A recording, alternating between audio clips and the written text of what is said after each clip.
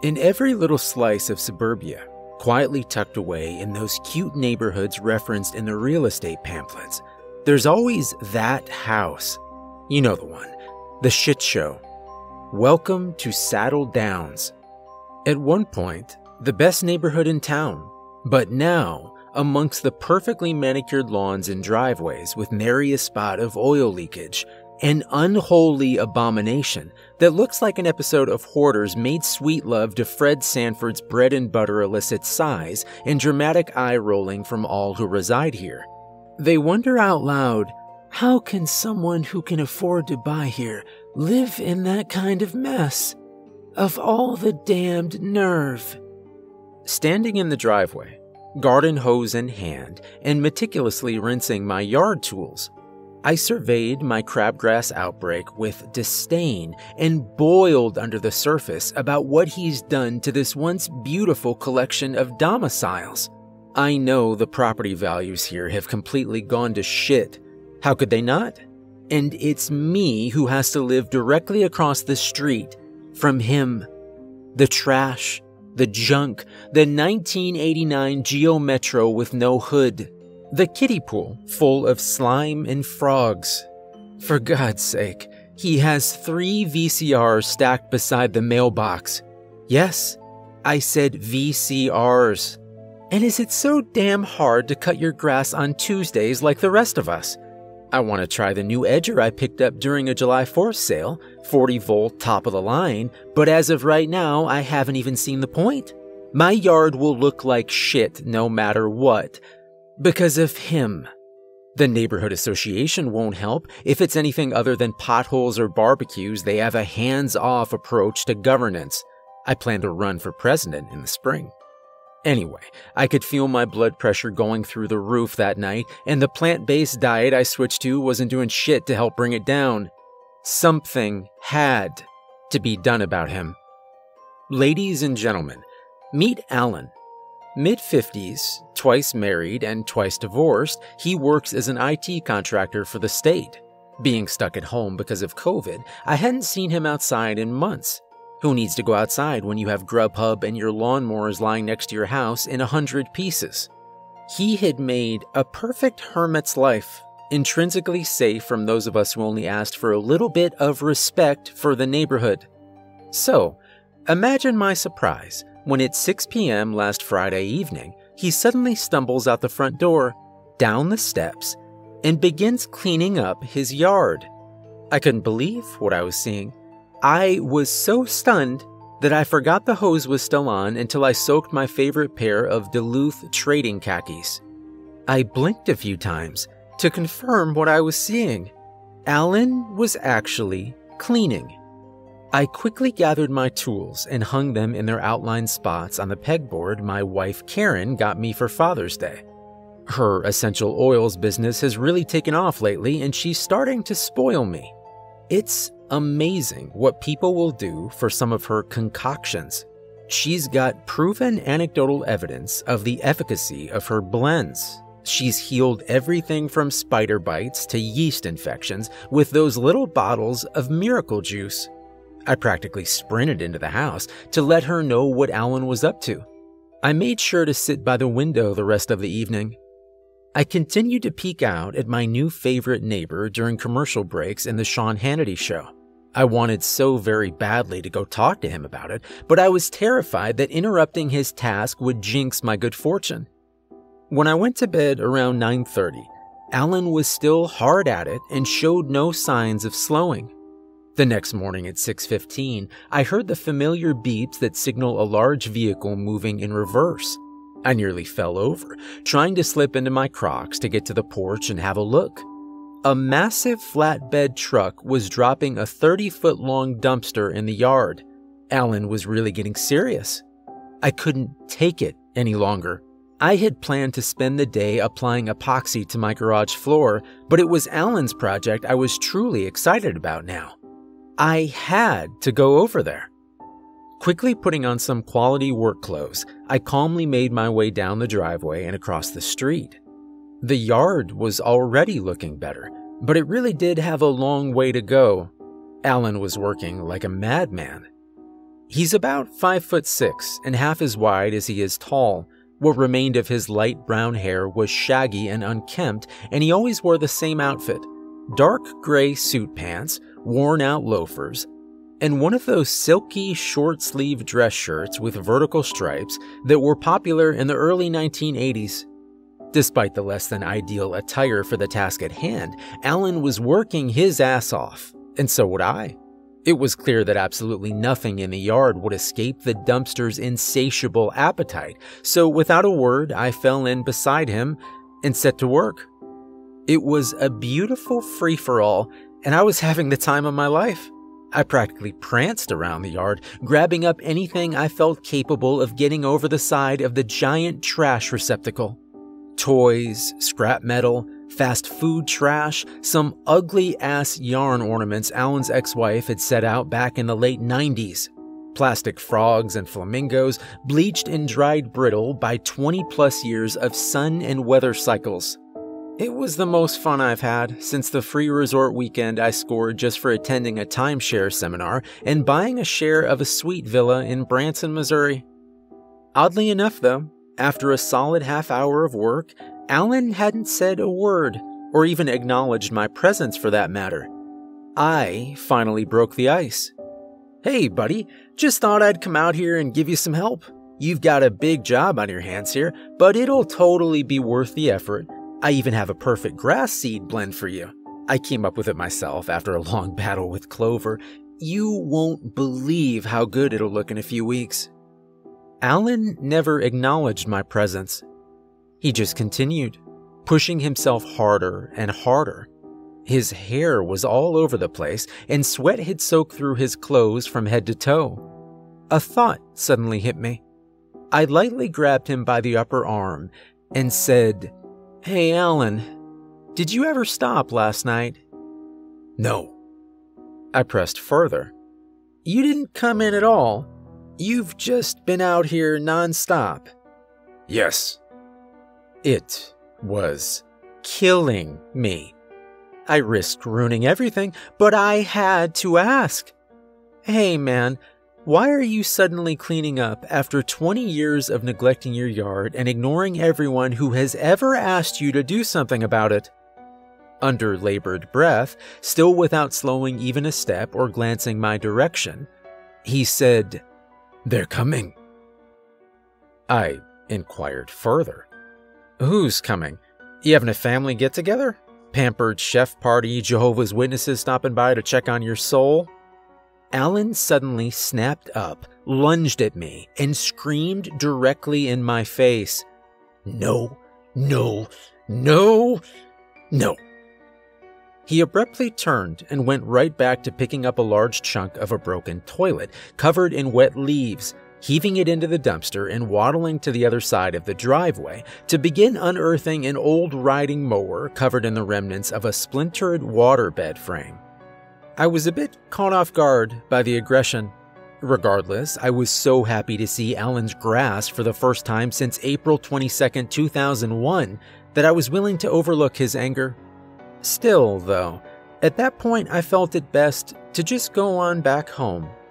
I went ahead and started on my garage floor project. I backed my RAV4 out into the driveway. I didn't have to deal with Karen's Volvo because she had an early appointment at the hair salon then planned to return some things at a department store she felt were dishonestly presented by the salesperson. I think she planned on giving that manager a piece of her mind. After a few more days of cleaning outside, inside, and having a huge fence built around the yard, Alan's place was looking great. I decided I would go shake the hands of whatever visitors he was having that had motivated him to take on this glorious project.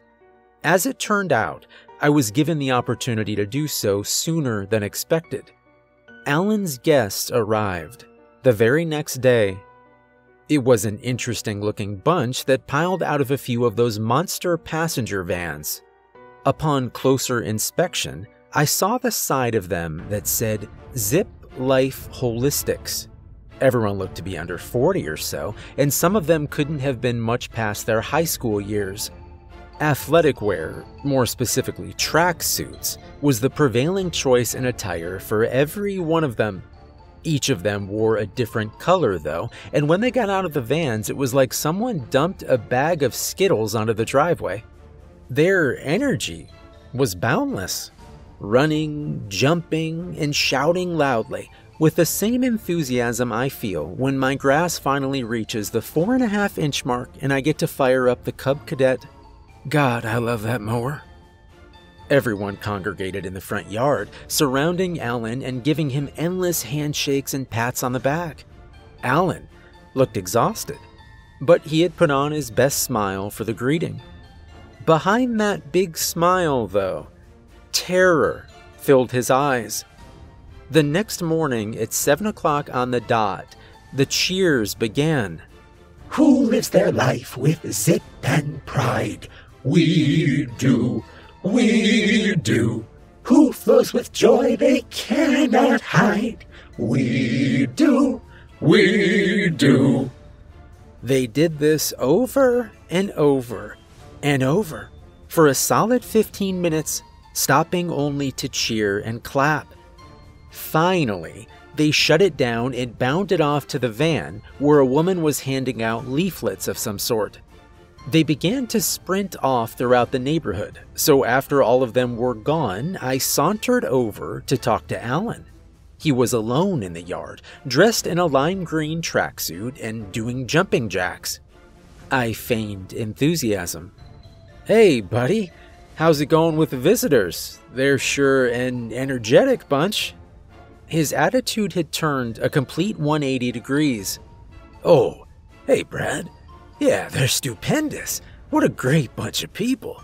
They're gonna change the life of everyone in this neighborhood. Just you wait and see. Despite Alan's zeal, I was skeptical and still a touch unnerved by the arrival of these health ambassadors. I mean, maybe they could help the neighborhood get back on track. Quarantine had really taken its toll on the midsection and hindquarters of just about everyone in Saddle Downs. Working from home was awesome, but the cafeteria choices were endless now. Eating had become a sport for me by that point. I figured I could try and get on board. It was just a bunch of overzealous kids, right?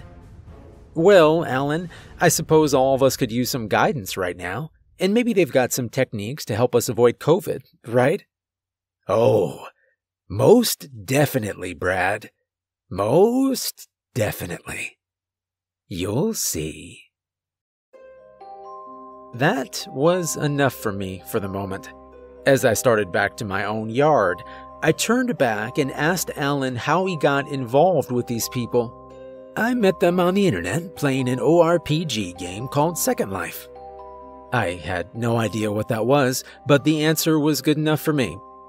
I cruised back over to the house figuring Karen had my kale shake ready to go, along with a little avocado and falafel on toast that would likely not hit the spot. As the day wore on, I kept an eye on things out on the streets of Saddle Downs. The lifers, as I'll refer to them, were going door to door with their flyers. Some successfully gained entry to make what I presumed was their sales pitch while others maintained that huge smile and boundless enthusiasm after being turned away at the door. They did, however, leave a small yellow sticker on the mailbox on the way out. Alan continued to exercise, with one of the Zip Life zealots cheering him on. Eventually, a couple of them were on my doorstep. Ugh, it was the first time I had seen any of them up close, and the only way I can describe them accurately is to say they dazzled. The startlingly attractive young man and woman before me had perfectly straight, shockingly white teeth. Their aroma was fantastic, like some perfect blend of sugar cookies and Tide Pods, clean and sweet. It was intoxicating. Their eyes were big, bright, and full of life, reminding me of those things that endlessly swirl and put you into a daze while the hypnotist snatches your wallet. The whites were white enough to make me squint, and their irises were vivid in color and matched their tracksuits. The young man's orange irises didn't have that fake look you see with color contacts either. I think they were legit, which for a split second sent a chill down my spine. As the young man began his pitch, perfectly straight, blindingly white teeth opened to a mouth that said, Hello, sir. I'm Tanner, and this is Kylie. We're friends of your neighbor Alan Randall and are representatives of the world's number one door to door health and wellness company, Zip Life Holistics. I have no idea what he said after that. All I remember is smiling dreamily, looking back and forth between their mesmerizing eyes, skin that appeared to have disco balls embedded in its pores, and feeling compelled to only breathe through my nose. I found my feet shifting below me as I pushed open the storm door and welcomed them into my home. Floating in sheer ecstasy, I led them to the couch where they sat down and produced a flyer for me to read. At that moment, all I could think of was how much I wanted to please these strangers, how I would do absolutely anything for Taylor and Kylie. Yes, I'll sign those forms. Yes, I'll be ready at 10 p.m. on Friday. Sure, I'll be eating nothing but raw organic foods until then. I'll do everything just as you wish. I just want to be well for you. Thank you for saving me. Thank God for Karen. She had been in the kitchen, live streaming one of her super coupon videos. She has 152 subscribers, not too shabby, right? And hadn't noticed Tanner and Kylie's entrance until the smell hit her. Who's here? That's not Gain. That's Tide. That shit's expensive. Someone needs a coupon lesson. She stopped dead in her tracks when she saw me starting to sign papers. Don't you sign anything, Brad. They're probably going to hit your credit card for a hundred bucks a month or something. You kids, skedaddle. Didn't you see the magnet on my car? I blend essential oils. Do you know what that means? It means get the hell out of my house with your worthless pills or whatever malarkey you're peddling. It ain't happening. Not on my watch. The two beautiful, amazing smelling lifers smiled, thanked me for my time, and gave Karen a little death stare as they made for the door. Karen followed them into the yard, yelling the whole way. Don't you make a face at me! I've got your leaflet in the house, and don't you think for a second I won't call your manager about these shady tactics you're using. I exhaled sharply and ran my hands across my face to wake up a bit. When I looked back up, they were gone, and one of those little yellow stickers adorned our mailbox. Karen gave me a bit of a scolding after she came back inside, but I did deserve it. It didn't last too long, though, because she had to get back to work on a big batch of potato salad to take to a party at my office. Those people love her recipe. The rest of the lifers eventually congregated back at Alan's house. It looked like they were camping in the backyard, which is probably why Alan had that absurdly high fence installed. Around 7 p.m., things got weird. Firstly, there was more cheering. After the noise subsided, I could hear a lot of grunting and groaning, and eventually curiosity got the best of me. I grabbed a ladder and made my way up to the roof.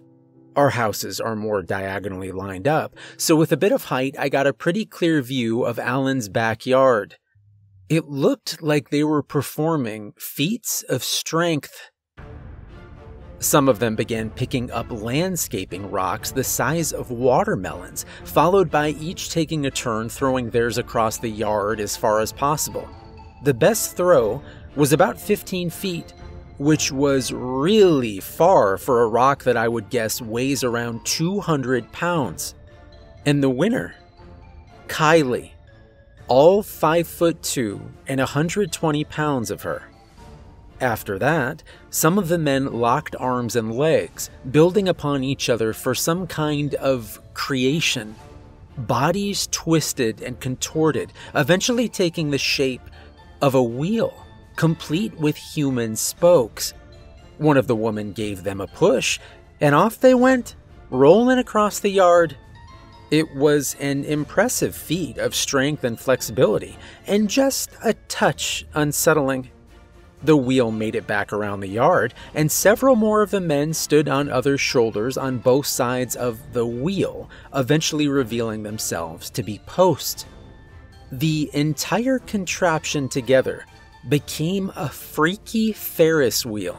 Someone gave it a push, and off it went, slowly rotating on an axis made of the backs of their brethren. That was both mesmerizing and freaky. But a big group of the women, however, really pushed the envelope. The men began to chant, Do it! Do it! It took a few minutes for it all to come together, but after everyone was in position, I was looking at all 20 of the women bent into impossible positions and exercising body control that would require the strength of a herd of elephants arms bent backward, shoulders dislocated and twisted in ways that would paralyze any normal person. I felt bile rise in my throat, even viewing it from over a hundred feet away. All the disgusting contortions came together, and suddenly I was looking at a 10 foot tall spider with the entire body and eight legs made out of people who should have been dead from their positioning alone. And it wasn't unstable. It wasn't about to collapse like one of those shitty popsicle stick houses we made in kindergarten. Had it not been so terrifying, it would have been nothing short of magnificent. And then, that spider walked, and then it ran. Their bodies were in perfect harmony as it ran across the backyard. More chanting. Spider! Spider! Spider! Continuing to run with absolute accuracy they began to emit a clicking sound that I can only describe as how a spider sounds in a movie.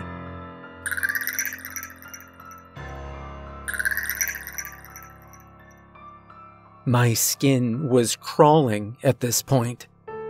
Then, as if the situation couldn't get any more bizarre and terrifying, I watched as that human spider crawled right back up the back wall of Alan's three story house and onto the roof. And when it stopped, I realized that before it crawled up the house, several of the men had jumped on and stacked themselves close on the front of the spider body. Their heads were packed tightly together, and their eyes became the spider's eyes, and they blinked in unison. Then it shifted a bit. The legs, the body, and those eyes rotating around while a few dozen mouths emitted that sound. They were in a side profile stance, facing off in the distance it stood. It felt as if everything around me had gone silent. This wasn't just funny or creepy anymore. It was downright scary. And as I soaked it all in and began to wonder what the hell I was really witnessing, I watched, horrified as every lifer on that hideous creation turned their head toward me. And they smiled. I slept like absolute shit that night. After the spider spent a few minutes twitching around on the roof and looking at me, it crawled back down to the yard and disassembled Eventually, everyone settled down, and I didn't hear anything else until early morning when the daily cheering began again. I must admit, the spider really scared me. When I said those girls got into impossible positions, I was not exaggerating. I was looking at fully dislocated shoulders and hips, spines twisted up like paper clips, and heads that twisted completely around. These were not normal people. This routine continued for the rest of the week. Wake up and cheer. Work the neighborhood. Cheer some more. Do weird shit in the backyard until dark, including but not limited to relay races on their hands, professional style wrestling without padding, Duck Duck Goose and Red Rover with tackling, forming a human snake 50 feet long and slithering around the house for 45 straight minutes, with everyone making a s sound and flicking their tongues. Then every few minutes, coiling up and striking at imaginary things. They did try to make their pitch to us once each day, becoming more persistent as the week progressed, but Karen always shooed them off. On their Friday afternoon visit, she even sprayed them with lavender oil. Tanner looked pissed about it too. As the days wore on, though, I noticed the little yellow stickers eventually being removed and figured my weak minded neighbors were finally giving in and agreeing to the presentation. Not Karen, though. She's hardcore about this kind of thing. Four days into this adventure, I noticed something. I'd never seen them eating, drinking, or going into the house to use the bathroom. I did see twice a day they were given a shot glass worth of some kind of liquid, which I presumed was whatever product they must be selling. Despite it all, the neighborhood was still running normally. People came and went, cars were washed, and dogs were walked. Mrs. Bush down the street was in her front yard, drunk and arguing with her adult son, who was also drunk, about his chronic unemployment and wasting his government money on cheap women. Friday night, Karen and I were sipping some of our favorite craft beer on the porch when we noticed an abnormally large number of people heading down the street. I recognized some of the faces, and others were foreign to me, but they all turned in to Alan's driveway and formed a line that extended a ways down the street. I suddenly recalled something on Tanner and Kylie's pamphlet about being there on Friday at 10 p.m. A quick check of my watch confirmed that it was, in fact, 10 p.m. Now I was really interested to see what was going down. I moved from the porch to the living room to watch one of these quarantine MLB games, which was almost as weird as watching the lifers do their thing. I kept a constant eye on the goings on at Alan's, though, and as the evening wore on, the traffic really picked up. For hours, I sat there watching neighbors get in line, looking completely happy and relaxed, no doubt enjoying the scent of sugar cookies and eye candy the lifers provided waiting their turn to go behind the gate. Several of the lifers looked to almost be standing guard there, with more standing along the street in front of the house. All night long, the cycle was the same. Person goes through the gate on one side of the house, followed by a few minutes of silence.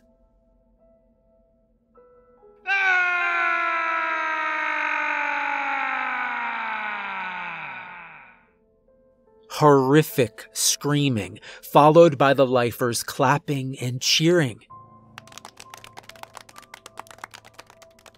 Then the person shuffled out of the gate on the other side of the house and very slowly shuffled home. By 2 a.m., I couldn't stand it anymore. I had to get a look behind that house again, even if it was a shitty angle. I was headed for the roof again.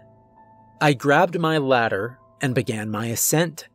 As I reached the top rung and my head cleared the roof line, I heard a voice coming from below, accompanied by the very faint smell of sugar cookies. It was Tanner. Hey, Brad. What you doing up there? He gave the ladder a little shake. I don't think it's safe to be up on the roof this late. Why don't you come down and go back in the house? Kylie said Karen looks pretty lonely in the bed. They were watching Karen sleep? Now, I was angry. I felt a surge of adrenaline, and it was finally time to tell this asshole what I really thought of him and his stupid lifer friends. Hey, Tanner, why don't you get the hell out of my yard and go back to your weird ass cult across the street before I call the cops? Tanner chuckled and said, Brad, your neighbor, the chief of police, is in line at Alan's right this minute. You know that. And then he literally jumped straight up the 30 feet to my roof. Tanner crouched directly in front of me, grabbed my ladder, and tipped me a foot back from the edge, literally holding my life in his right hand. His orange eyes glowed like two big fireflies in the darkness. Brad, everything's fine over there. It would really be in your best interest to climb back down this very unstable ladder and get the hell back in your house. I nodded, scared shitless. My adrenaline surged again as I gripped that ladder with every ounce of strength I had. There was no exit plan here if he let me go. Okay, Tanner, I'll go back inside. Please, please move my ladder back and let me climb down. And just like that, he returned the ladder to a safe angle, got in a high dive position, and did a gainer off the roof, landing perfectly on his feet. When I stepped off, he was directly in my face. He did not smell like cookies and Tide now. He smelled musty like an old museum. The glimmer in his skin came and went like static on a TV, and his eyes no longer dazzled. He looked tired, as if he'd used up every ounce of his normally boundless energy. That's the last thing I remember. I woke up on the couch around seven o'clock. My drool covered shirt was turned halfway around my torso, and one of my socks was MIA. I felt absolutely awful. Every muscle ached to some degree, and my feet felt like they were made of lead. I was completely exhausted, and my back felt like it was on fire. I made it to the kitchen and tried to get my head together.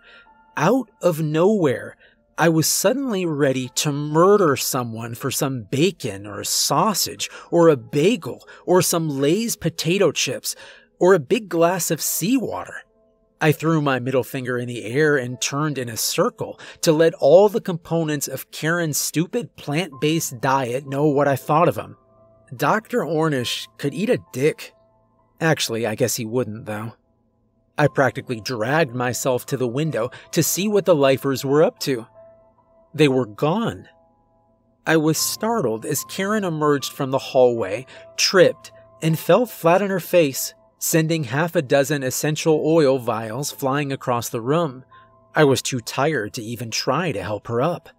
Groaning, she pushed herself up on her elbows. What the hell happened last night, Brad? The last thing I remember is that Kylie girl standing beside my bed speaking in another language. There were bits of English mixed in there. She said something like, We are ancient, older than death himself, and then something about cows and pigs no longer being sufficient. I looked at her like she had three eyes. Not only was I in tremendous pain, I was feeling a little combative. What, Karen? Are you drunk? Did you put too much lemongrass and ylang ylang in your tea again last night? When Karen is pissed, her voice gets really nasal, and her A's are literally enough to bust eardrums. After my smartass comment, I really had it coming though. No, Brad. She said it. She said that shit, and the last thing of it I recall is her rolling me over onto my stomach and saying, Thanks, bitch. I'll fill you back up with marjoram. Karen had managed to stand again, but doubled over in pain and hit the floor once more. Ah, damn it, Brad. Why does my back hurt so bad? I looked down at her exposed back. It was swollen and red, and she had a tiny hole or needle mark just above each kidney. I had the same. What the hell was up here? Trying to look at my own back, I began turning in circles like a dog trying to sniff its own butt. Karen, look at these holes in my back. What's in that spot?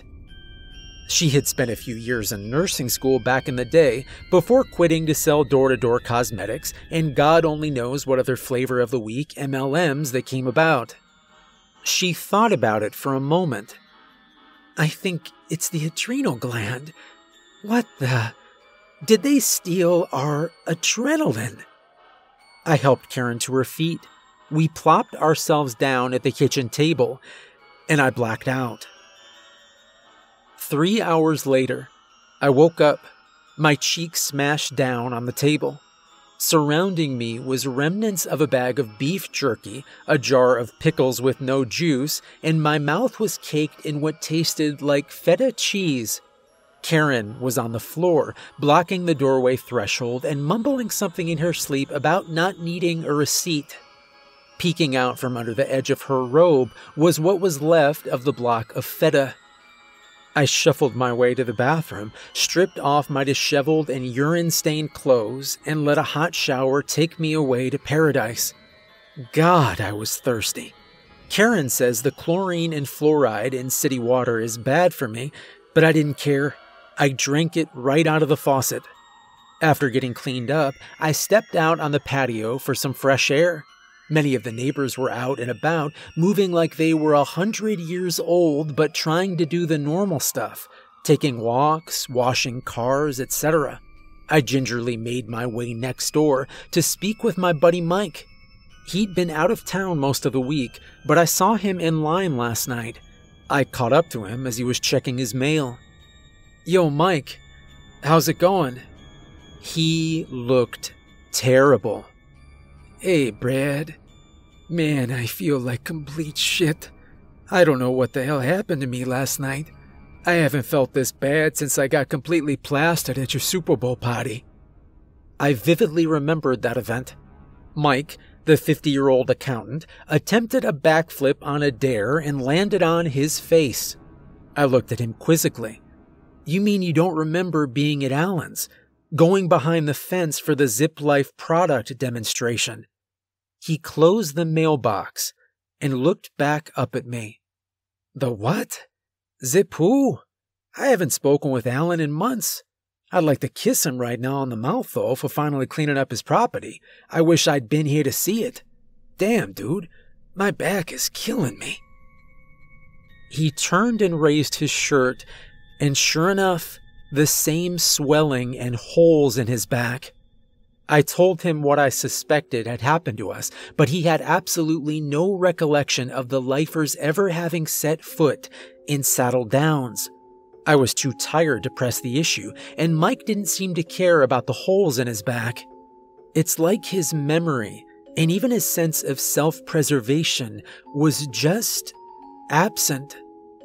I ended the conversation and made my way a couple houses down, intercepting a lady named Sandra as she very slowly made her way through the morning walk she's taken every single day for 23 years. We had the same conversation. She had the same marks, and like Mike, had no memory of the night before. I tried several others and got more of the same. Finally, I headed for Alan's house, banging hard on the door. When he answered, it was clear that I'd woken him up. He was wearing nothing but a pair of old, very undersized boxers. Uh, hey, Brad. What's up? Alan, I've had enough of this shit. What the hell did those people do to everyone last night? He looked completely confused. What? What the hell are you talking about? Who? I roared with every ounce of strength I had left. The Zip Life people, Alan. They jacked everyone up. We all have holes above our kidneys, and no one knows why. I'm the only one that even remembers them being here. All of the sudden, it was like the light bulb went off. Alan's eyes nearly popped out of his skull. I exhaled sharply, relieved that someone could finally shed some light on all this.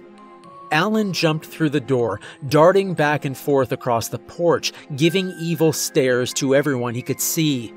As he flew by me for the third time, I caught a look at his shirtless back. There was nothing.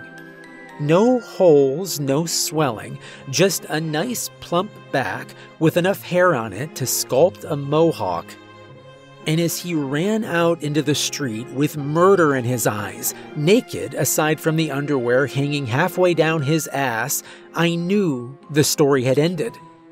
I wasn't going to get my answer because I knew what the next words out of his mouth would be.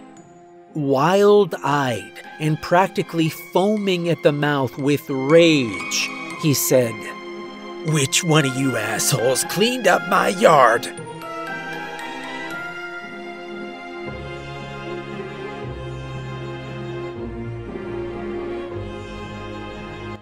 Hey everyone, remember to like and subscribe if you enjoyed this story, and a special thank you to HGTV Neighbor for another awesome story. Make sure to go check out more of the author's work. If you'd like to support me further, there's a link to my Patreon in the description. And remember, if a giant human spider starts running around in your neighborhood, it's probably time to sell your house.